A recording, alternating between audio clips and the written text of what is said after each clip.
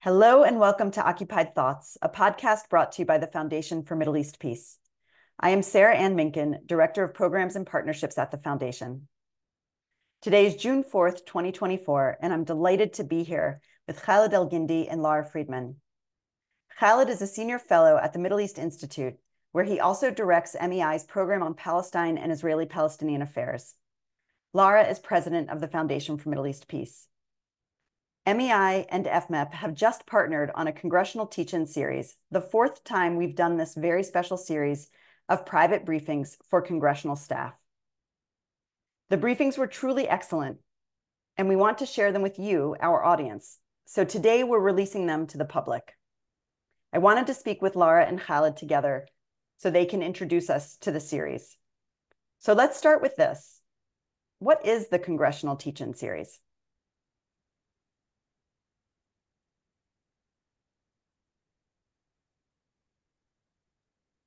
Khaled, why don't you go ahead and start? Okay, so so the uh, so the idea, I think Lara and I had a similar idea at the same time in 2021. Um, the idea was, you know, Congress is a, obviously a key player in this in this issue, um, probably disproportionate uh, focus on Israel-Palestine issues in relation to other foreign policy issues. And the vast majority of it is in the negative uh, column, I would say. And, and so we wanted to try to inform congressional staffers and to expose them to different uh, perspectives that they probably aren't hearing uh, on the Hill in your standard uh, hearings that, that happen in the House and Senate in relation to Israel and Palestine. And so we wanted to expose them to all kinds of uh, different perspectives that they wouldn't otherwise um, have access to. And so we thought, let's do this private briefing series um, on a whole range of topics related to Israel-Palestine from, you know, the traditional uh, final status issues like settlements in Jerusalem and refugees to international law and um, how that figures into into the equation, um, or Gaza, or kind of other more uh, specific issues. And so, so that was the the thinking behind uh, putting together this series four years ago, or I guess three years ago for the first time in, in 2021. Right, and this year it's the fourth. Lara, is there anything you want to add about the the nature of the congressional teach-in series, or um, why it is valuable to, to hold a private briefing series with congressional staffers? Yeah, I mean, very much what, what Khaled was saying. The idea here was to to expose staffers, um, and this is obviously an opt-in. It's staffers who have an interest, so they show up because they have an interest. Um, expose them to to information, expose them to viewpoints, help them, you know, start to build a their own Rolodex of voices that maybe they find interesting and want to hear again. Um, and you know, the this year was a little different. We'll get into that on why this year was different. But in past years, we really did set this up in an almost um, academic way. It's almost a course, right? So the idea is that if you attended any one of these as a one-off, you learned a lot. If you attended all of them, there's an arc of learning that goes across all of the various uh, sessions. And it's it's not just like a, you know, Israel-Palestine 101. It goes a lot deeper than that. Um, but it's an it's an opportunity to both learn the ABCs and also go much, much deeper into these issues that are very much on the agenda all of the time for congressional offices, including congressional offices that maybe you wouldn't think this would be a big deal for them. Maybe the member is not on a key committee or is not focused on this, but you know, almost every office they have constituents who are interested in this. They they're responding to letters and questions, or you know, they're they're having to vote on things related to this. Um, this was very much meant to be an opportunity to, to, for people to learn if they chose to do so.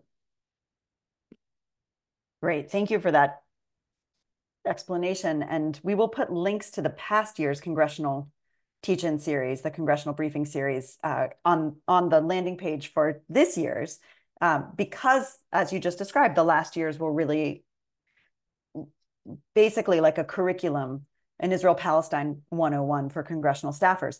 But this year was different. Um, this year, you decided to focus the, the series on Gaza. You entitled the series The Gaza Catastrophe. can you talk about what role Congress has at this exact moment with Gaza and what you were hoping congressional staff would take from this conversation about Gaza? Lara, let's start with you. Sure. And and actually, before we do, I want to just take something I should have mentioned in the last question, which is, you know, a lot of people do events for the Hill, and they do them as public events, either online or actually in person on the Hill. And you know, we started this during COVID when online made sense, just in terms of people have it being accessible to people. But from the start, we chose to do this as a closed forum um, as in, you know, we're releasing them after the fact, but in real time, these are available only for Hill staff and for members of Congress if they choose to show up. And the idea there was to create a, what I don't say a safe place, but in some ways a safe place where, you know, you're not worried about, you know, well, do you have to respond if you hear something that makes you uncomfortable? Or are you a concern that someone will see you showing up? Or do you have to ask a question? Or if you want to ask a question, are people going to ask you why you're asking a question? It was intended to really be a place where people can learn without um, having to worry about it being a public space. And I think that is one of the things that enabled these um, in this year and in past years really to be successful is having that space to just take in information and, and maybe you agree with it, maybe you don't, but it's it's just an opportunity to listen. Um, in in terms of this year, look, I mean, we we've been talking about this session really since last fall and what it would look like, and it it it came together over time. The bottom line is it made no sense this year to do a you know um, Israel Palestine you know 101 201 whatever um, series. This is there's such immediate issues on the agenda and and and let's be honest uh, you know gaza was off the the radar for a lot of people. We covered gaza in our previous sessions. It was part of our curriculum. But i think for a lot of people including people who are relatively educated on the hill about israel palestine gaza has been sort of an afterthought except for when it bubbled up and israel would go in and quote unquote mow the lawn and there'd be horrible images and horrible news. But the bottom line is that would last for a few weeks and then you know situation normal goes back um, and it it felt really like you know even if we hadn't already planned to do this series that we we really had to do it this year. Um, to expose people to you know some baseline understanding of of you know October 7th is not the beginning of time right? Understanding that understanding the dynamics pre-October 7th post October 7th understanding the the key things that are in play on the hill having to do with who's you know what does accountability look like international law, US Congress, things that are being discussed. Um, there, there's a whole array of issues that when, you know, in the context of a larger discussion about Israel, Palestine, West Bank, East Jerusalem, maybe there's already more familiarity. With Gaza, there was a such a dearth of familiarity. Um, we felt it was just imperative to focus on this and to bring to to the fore voices that are expert on this, who who maybe people um, hadn't listened to before and clearly should have been. Thank you for all of that, both for reminding us of the stakes of conversations around Israel Palestine and why it was so important to be able to have private briefings, and specifically for what it means for people to actually engage with Gaza. Khaled, did you want to add anything? Um, not really. I mean, uh, I think Lara covered it. Great. Well, can I ask you to preview for us the different sessions? So there, there were four sessions specifically focused on Gaza, the Gaza catastrophe. Um, so I want to ask you to tell us about the sessions, what they focus on, and also just as you're telling us about them, they were recorded over the last three months. Uh, we know that they continue to be relevant and important, but maybe you could tell us a little bit about about why, about how you framed them, such that they would continue to be so important. Yeah, sure. So um, so we wanted this series to be focused, uh, focused uh, obviously on the issues related to Gaza and particularly, you know, since October 7th, um, but also uh, focused in that we we wanted to have a, a fewer number of sessions than we've had in the past. In the past, we've had upwards, we've had like six or eight different um, episodes in in the series, and so this time we we felt given the urgency, we really wanted to to pack as much in as we could in in a very short, uh, relatively short period of time. So we we did it in four sessions, and the first session is what exactly what you'd expect. how did we get here? As Lara said, the world did not begin on October 7th. Um, there's a there's history, there's context, um, there's there's a lot of cause and effect that that needed to be covered, and so we wanted to have that that conversation. And instead of our usual three panelists, we we opted for two, uh, an Israeli perspective uh, and a perspective from Gaza. And again because we wanted we wanted we really wanted to be as focused uh, uh, as we could. In in the second session um, we we looked at the question of the US role.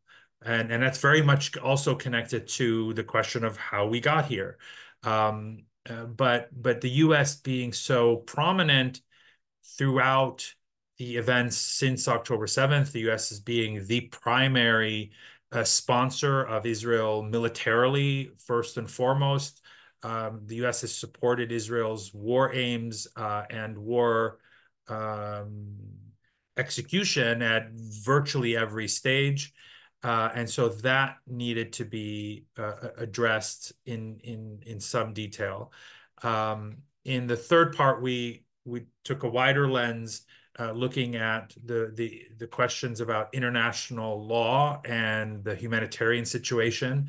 Um, the, the, the crisis has produced pretty significant interventions um, at the international level by both the International Court of Justice, uh, the South African genocide case that has been um, that is going to be adjudicated over the coming years, um, but also now also the, the International uh, Criminal Court, which is uh, likely to be issuing arrest warrants for both Israeli and Hamas leaders uh, in the coming uh, weeks or months.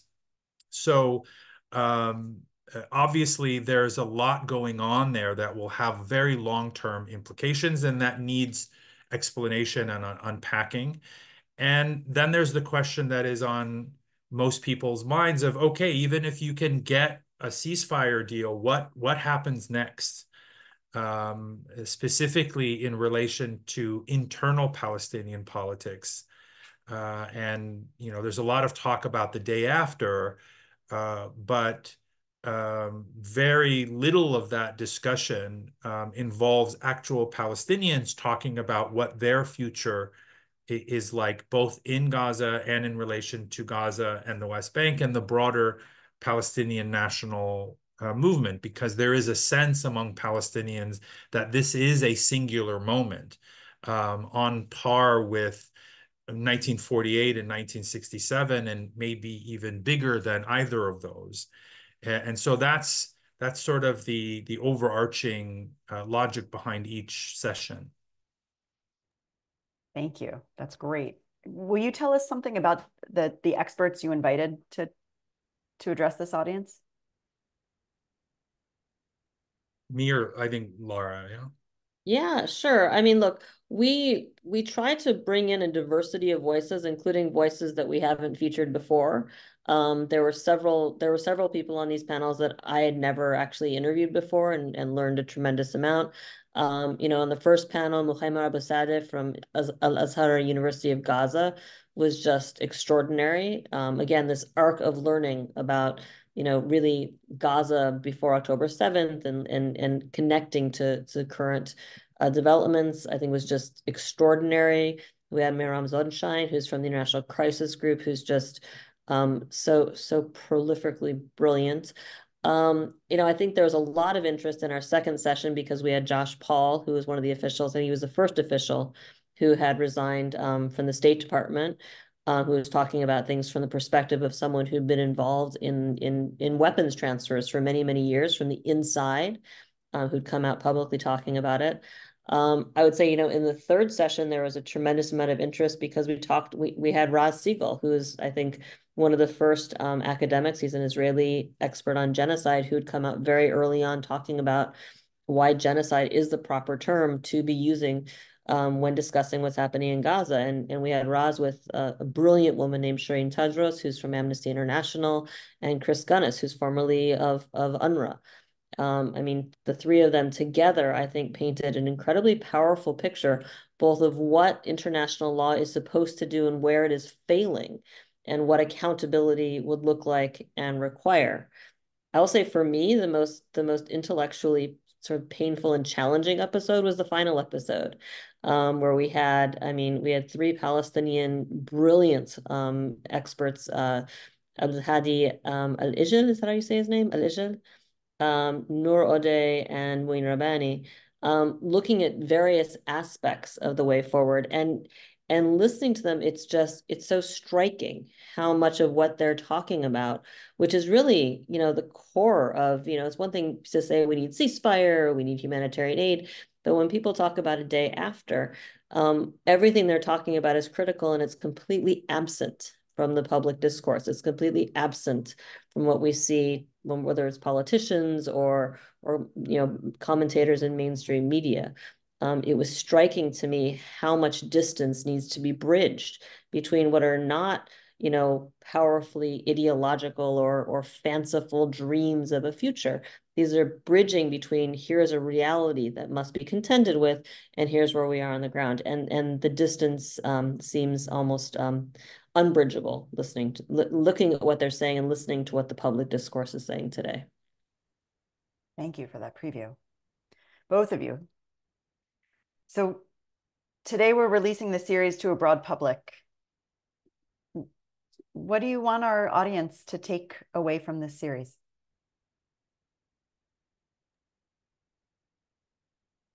Well, I, think I think what we want the audience to to take away isn't all that different than what we wanted congressional staffers to take away, and that is here are a set of uh, subject matter experts and perspectives that uh, maybe as students or as journalists or as you know people in the think tank world um, or just as as ordinary people who are curious about this you know huge uh, and horrific event that's happening in the world to to give them uh, the resources um, of people who are directly connected to to events on the ground um, perspectives that they might not otherwise uh, be exposed to.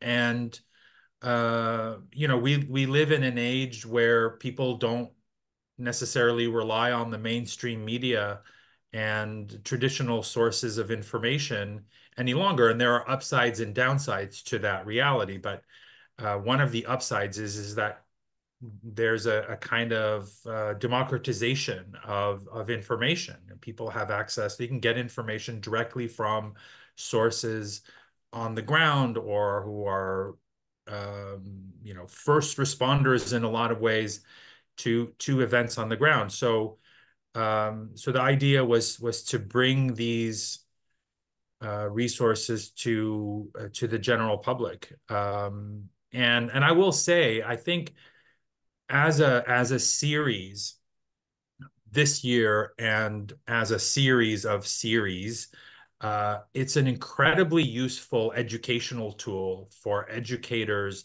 because I know for a fact, as the parent of you know high school students, I know these conversations are happening at every level, um, high school, middle school, certainly at universities. And so this is an incredibly useful educational tool for educators at all levels. And so we really want to make that available to to them. Thank you. Uh, I would just add also, I I hope that what we're doing here, and I know when in in past years, we know some of the these series have been used by educators, which is just incredibly gratifying.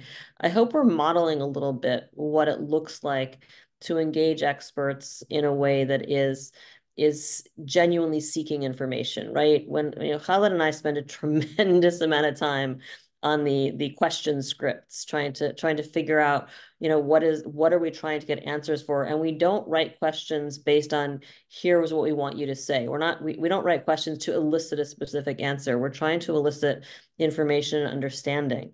Um, and like i said i will you know for me some sometimes these are incredibly challenging conversations, challenging to not become despondent, right? Or challenging not to say, well, what about? Or, you know, it, it, it, there's so much to cover here. And if you if you make yourself stop and really listen, that's that's where learning starts. And I think that's something we are really trying to model here. Wonderful, both of you. Thank you so much. That's so helpful. I hope that this is helpful for our audience. Uh, people ask me all the time for 101s and where to start. And the answer is that there isn't just one 101. There isn't just one place to start. There are so many on ramps there, and we need more and more. And what you're describing is creating an on ramp for understanding not just what's going on in Gaza right now, but what's going on in Gaza and why it matters to the US Congress because of the US role right now. And and really how to approach these issues. Lara. And just to add one more thing, and this is a shout out to the amazing support we got from our colleagues in the back office. That includes you, Sarah Anne. Um, so folks understand that when this is posted, what will be posted with each episode is a collection of resources. Um, and we've worked with the speakers. We've invited them to share resources that they have written um, that they think are valuable, and we've collected our own the idea is really to create a, a center where people can come and if they found something interesting they can dig deeper. So i hope people will use that as well. And we welcome anyone in our audience to tell us how you're using these materials. We love hearing from you. We hear from professors regularly about people who use our our webinars and our podcasts in their classes and our lists of resources for part of their curriculum. So Lara Khaled, thank you for everything you did, for everything you do. Thank you specifically for sharing your time today. And I want to also thank our audience for turning into this, tuning in to this episode of Occupied Thoughts. Please listen to the entire series, um, this congressional briefing, this fourth congressional briefing series. And please make sure to check out our website, the FMEP website, www.fmep.org for resources related to this podcast, to lots of other great content related to Palestine and to Israel. You can make sure that you're subscribed to this podcast to stay up to date. We're on iTunes, SoundCloud, and Spotify. And you can also watch video versions of our podcasts, including this one on YouTube. And with that, I am Sarah Anne Minkin, signing off until the next episode of Occupied Thoughts. Thank you, Lara. Thank you, Khaled. Thank you, everyone. Thank you.